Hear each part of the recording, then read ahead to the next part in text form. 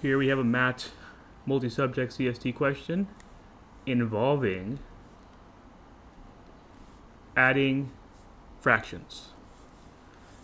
So let's do this slowly because a lot of students tend to get confused when it comes to adding fractions. And specifically when they add fractions with different denominators.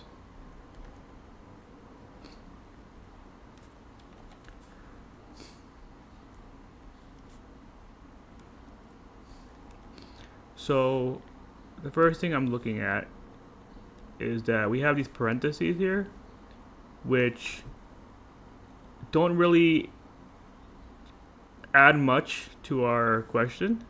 They just help it keep it neat. They just help you show that our negative here is separate from this plus. So I'm just going to go ahead and just remove these parentheses. So I have negative 4 over 9 plus negative 7 over 10. That's how you'll read this. Negative 4 over 9 plus negative 7 over 10. Now we can't add them together like regular numbers because our denominators are different. Here we have denominator 9 and here we have a denominator of 10. So we want them to have the same denominator. And the way we can do that is we can multiply the first fraction by the denominator of the second fraction. So the denominator of the second fraction is 10.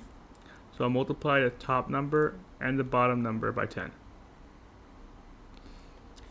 And similarly, to get the same denominator with the second fraction, I'll multiply it by the denominator of the first one. So I'll multiply the top and bottom by 9. And now let's see what we get when we multiply these numbers together. So negative 4 times 10 is negative 40. 9 times 10 is 90.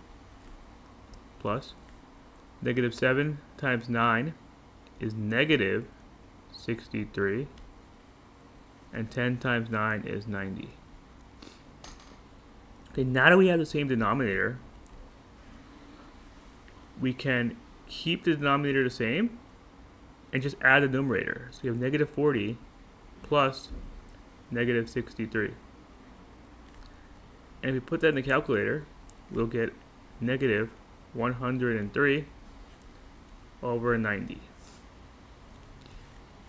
And that looks like it'll be answer choice D.